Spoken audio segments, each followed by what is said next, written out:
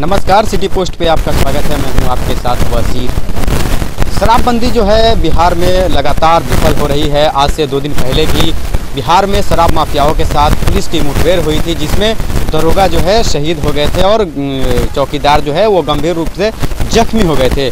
तो इसको लेकर के शराबबंदी पे लगातार सवाल उठाया जा रहा है, लेकिन आज जो है नीतीश कुमार का एक बयान आया है। उन्होंने कहा है कि अधिकारी जो है वो आम जो लोग हैं गाँव के, उससे सहयोग लें कि किसके पास शराब है।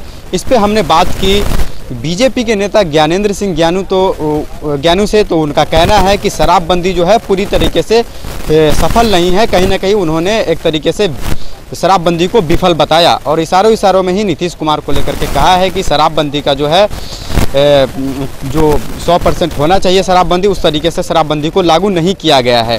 तो कहीं ना कहीं एक तरफ़ से नीतीश कुमार का ये दावा होता है कि हर तरह से शराबबंदी है बिहार में तो वहीं उनके ही सहयोगी के विधायक जो है, दल के विधायक है, जो कह रहे हैं कि शराबबंदी जो है पूरी तरीके से लागू नहीं है। क्या कुछ कह रहे हैं? ज्ञानेंद्र सिंह ज्ञानू, आप उनके बातों को सुनिए। देखिए उसमें पूरी तरह तो सफल नहीं रहा। थोड़ा अभी भी जितनी कड़ाई होनी चाहिए उस पर और मेरे ख्याल से पुलिस को इससे अलग थाने को इससे अलग करना चाहिए।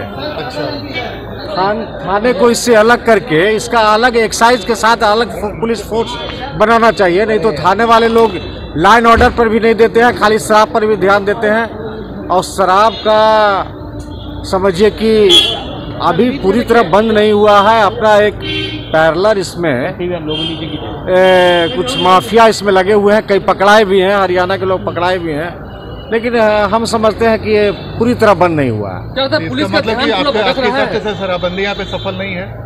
नहीं पूरी तरह सफल नहीं मतलब पुलिस का ध्यान भटक रहा है इससे पुलिस अपना काम ठीक से नहीं कर पा पुलिस रही है। पुलिस वगैरह को जो करना चाहिए पुलिस जिस तरह से ईमानदारी से करना चाहिए वो नहीं कर पा रही है। तो आपने सुना, ज्ञानेंद्र सिंह ज्ञानू के बात को जो कह रहे हैं कि शराबबंदी जो है पूरी तरीके से लागू नहीं है, ये कहीं ना कहीं विफल हो रही है। तो देखने वाली बात ये होगी कि एनडीए सरकार के जो एक मुख्य सहयोगी है बीजेपी वो शराबबंदी को विफल बता रही है। तो नीतीश कुमार जो है शराबबंदी को सफल साबित कर रहे हैं। तो आगे क्या कुछ इस पे हम्म, निर्णय आता है और क्या प्रतिक्रिया आता है ये देखने वाली बात होगी। तो आपको हम लगातार ऐसी खबरों से अपडेट रखेंगे। अगर आपने हमारे चैनल को अभी तक सब्सक्राइब नहीं किया है तो जल्द से सब्सक्राइब कर ले और इस वीडियो को लाइक करें फॉलो करें शेयर करें। धन्यवाद।